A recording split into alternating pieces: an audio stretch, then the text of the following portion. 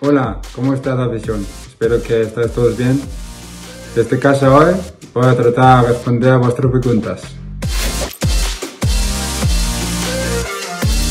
Si no jugaba al fútbol, quiero ser cocinero. Eh, me encanta cocinar y me encanta probar cosas nuevas y siempre puede encontrarme en la cocina. Yo no tengo un posición favorito, lo más importante es, jugar eh, cada fin de semana. Y en cualquier posición que le me pongo, eh, trato de hacerlo lo mejor posible y ayudo a mis compañeros para, para ganar. Eh, Mi mayor sueño quiero ganar más trofeos, eh, como año pasado en la, la final de Copa, un día muy especial. Y como futbolista siempre quiero, quiero ganar más trofeos. Quiero quedarme muchos años aquí, estoy muy, muy feliz aquí y me quedan dos años más, pero espero que, que poder quedarme muchos años más. Eh, hay dos. Eh, claro, mi, mi primer partido con, con mi selección fue un sueño para mí.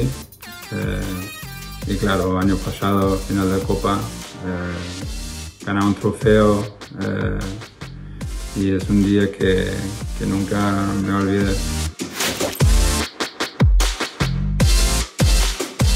No hay un secreto, eh, solo trato de hacer lo mejor posible cada día y tratarme de la mejor manera, eh, mental y físicamente cada día.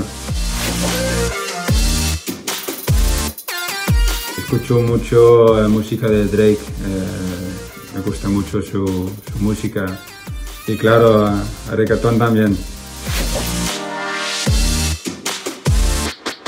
La peor es que, que no puedes entrenar con, con mis compañeros. eh, cada día está, está solo en casa y es la, peor.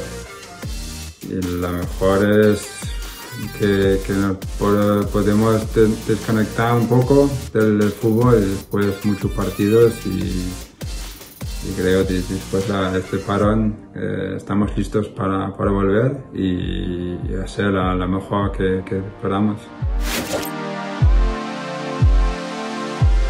Para mí David Villa eh, fue un gran jugador y yo creo que uno de los mejores delanteros de la historia de Valencia y marca muchos, muchos goles aquí.